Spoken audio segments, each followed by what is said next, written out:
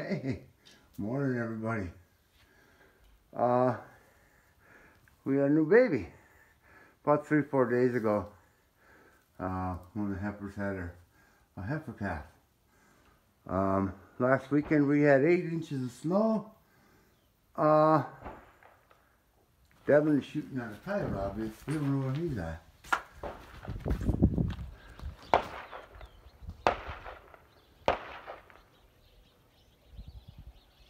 Man, must be in the holy shit. Anyway, yeah, my quarterback cow, our heifer, right? That's okay. You really got a nice bag. so this little one. This little shit was born when he's pretty cold out. But he's a feisty little shit. She's a feisty little shit.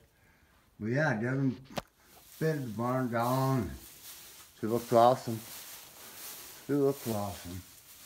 But yeah, it's cold. Anyway, that's what's happening. That's my quarterback. Oh, first cat pepper. Anyway, that's what we got going. We are waiting on another five to seven inches of snow starting tonight. Wind blow 50 miles an hour, etc., etc. It sure is getting shit and sickening. Please comment, like, subscribe, and yeah.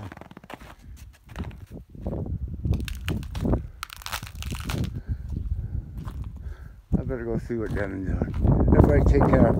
Uh, yeah.